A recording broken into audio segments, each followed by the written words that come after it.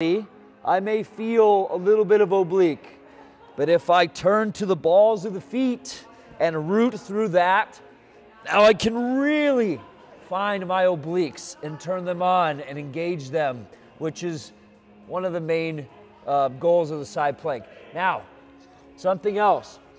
I'm not a fan of long side plank holds. Say you have an on the 90 second drill, 40 second side plank each side takes up a lot of that. What if you cut it to 20 seconds of work and load it up? Put a weight on your hip. You can put a plate or a dumbbell, or my favorite thing, take a sandbag, stack it on the hip, and then get down into your plank and hang out there. Beautiful.